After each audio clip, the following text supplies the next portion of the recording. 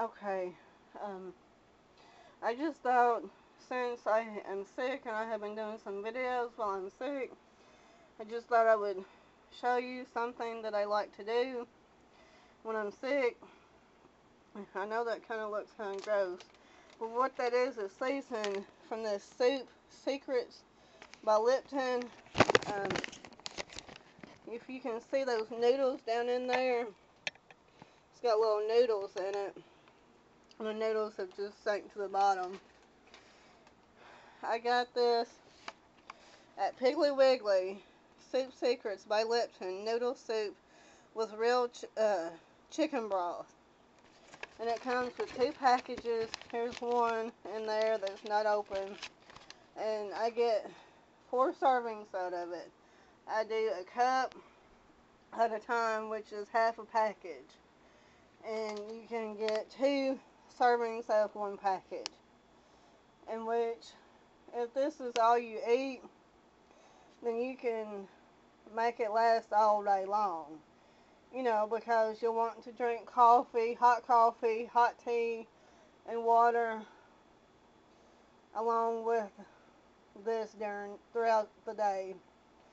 And um, it costs a dollar fifty, and you know, pretty reasonable um, pretty reasonable price for something that makes you feel better or helps you feel better or soothes you.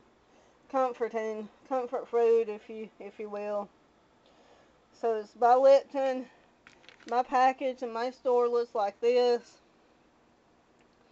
And you put in the microwave for one to four minutes depending on how your microwave heats up and how done you want the noodles. Um, I like them pretty soft. I don't like them. I don't. I don't like them still crunchy. But if you still like them a little bit crunchy, then you leave them in less time. But I just like them good and done and soft, but not like sticking together. So I usually put it in for about a minute and 10 seconds, let it heat up and then stir and then put it in for about another minute and 10 or 15 seconds more to help finish cooking the noodles. And um, so I thought I would share this and hope it helps somebody. Um, don't forget I'm on Facebook, Pretty Country Gals page. If I forget to put the description, I mean, if I forget to put the link in the description box below, check out my channel. I have it in the box on the left, the link. You can just click on that and it will take you to it. And see me on Twitter. It's spelled P-R-E-T-Y-C-O-U-N-T-R-Y-G-A-L.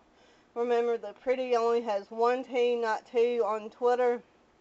If not, then I'll um, See you next time on YouTube. No hate, nothing but loving, guys.